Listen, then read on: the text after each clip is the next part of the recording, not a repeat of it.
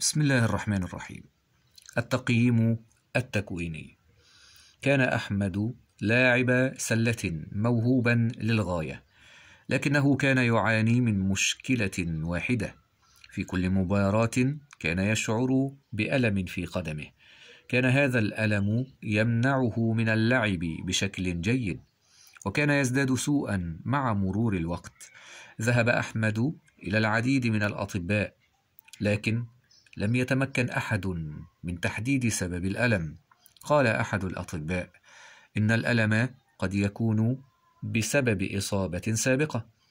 وقال آخر قد يكون بسبب حالة طبية كامنة. كان أحمد محبطا للغاية لم يكن يعرف ما يجب فعله. وكان يشعر بأنه سيضطر إلى التخلي عن حلمه في لعب كرة السلة.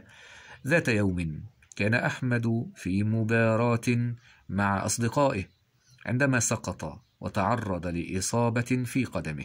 كان الألم شديدا لكنه تمكن من النهوض والاستمرار في اللعب. وبعد المباراة ذهب إلى الطبيب مرة أخرى فأخبره الطبيب بأنه رأى شيئا غريبا في الأشعة السينية.